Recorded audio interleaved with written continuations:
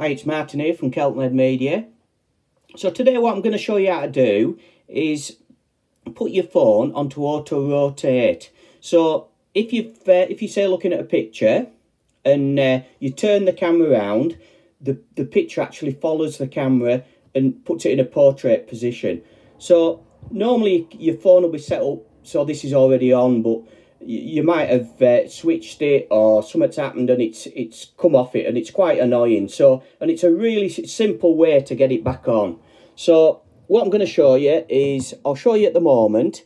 So that's my in my gallery i've got a picture and when i turn it round it doesn't move.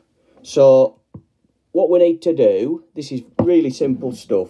We need to go to the top of the screen and pull it down and then we'll pull it down again and as you can see, um, on the right hand side at the top there, it says portrait.